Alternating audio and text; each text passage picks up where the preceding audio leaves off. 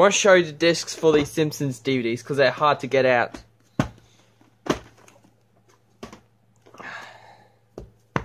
This has no covers, but this is season 11.